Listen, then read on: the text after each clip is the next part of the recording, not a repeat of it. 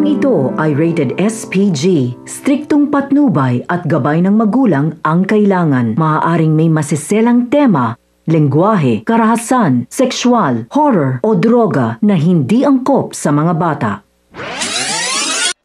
Mga kapamilya, narito ang mga dapat nating abangan sa FPG's Batang Quiapo. Malalaman ni Senyor Pakundo kay Tinding na ang preso palang kanyang tinulungang makalaya ay apo ni Tinding na si Tanggol at ang apo nga din ni Don Julio kay Ramon ay iisa. Napansin nga ni Senyor Pakundo na mukhang may gustong sabihin sa kanya si Tinding at mukhang balisa nga ito. Kaya naman si Don Pakundo na mismo ang lumapit kay Tinding at tinanong siya nito.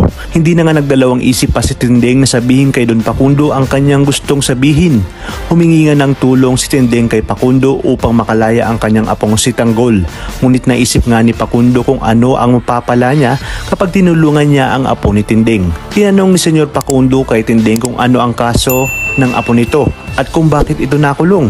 Dito sinabi ni Tinding ang lahat kay Pakundo. Kaya naman naisip ni Senyor Pakundo na mga gamit niya ang apo ni Tinding sa kanyang negosyo kapag tinulungan niya itong makalaya. Agad ngang tinanong ng senyor kay Tinding kung ano ang pangalan ng apo nito. Dito nga ay sinabi ni Tinding na Jesus Nazareno de Magiba ang pangalan ng kanyang apo. Na siya ngang ikinabigla ni Don Pakundo dahil yun din ang pangalan ng ipinakilala sa kanilang anak ni Ramon na siya ngang si David. Hindi nga maalis sa isip ni Pakundo ang pangalan ng apo ni Tinding at sa anak ng tagapagmana ni Ramon. Ayon kay Pakundo, kung nagkataon lang ba na magkapangalan ang dalawa, kaya gusto niyang makasiguro Humingi nga ng larawan itong si Pakundo kay Tinding at Noy. Nagkataon naman na may dalang larawan itong si Tinding ni Tanggol, kung saan kasama pa si David at Santino sa larawang ibinigay ni Tinding. Kaya dito mas lalong nagulat si Don Pakundo nang makita ang larawan ni David dahil yun ang ipinakilala sa kanila ni Ramon. Kaya naman, napag-alaman ni Pakundo na ang anak na ipinakilala sa kanila ni Ramon ay isang impostor at tagpapanggap lamang na tanggol. Unang pinagsabihan ng senyor ang kanyang apong si Pablo, kaya naman dito sinabi ni Pablo na matatapos na ang kayabangan ni David at magkakabawi na siya sa kahambugan nito.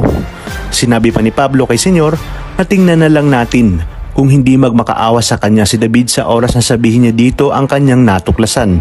At dahil nalaman din ni Tinding ang pagpapanggap ni David, ay nasabi niya na mas masahol pa kay Tanggol itong si David. Talagang kapanapanabig ang mga susunod na tagpo sa teleseryeng ito. Kaya naman sabay-sabay natin itong pakaabangan. At kung bago ka pa lamang sa akin channel ay sana'y huwag kalimutang mag-like at subscribe. Pinutin ang notification bell para updated kayo palagi. Maraming maraming salamat sa inyong panonood at hanggang sa muli, kapamilya.